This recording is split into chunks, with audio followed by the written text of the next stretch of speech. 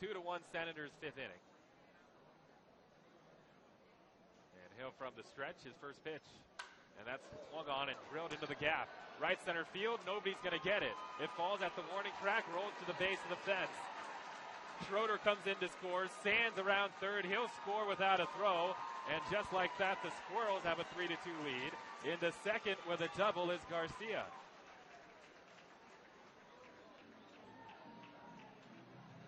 It's almost as if Garcia knew that Hill was going to look to pound the strike zone early in that at bat. And he was all over a first pitch fastball. Drove it the other way into the right center field gap towards the real deep part of the yard. And not a thing Robles or Hernandez could do about it. An easy score for both runners. And the Squirrels have a 3 to 2 advantage.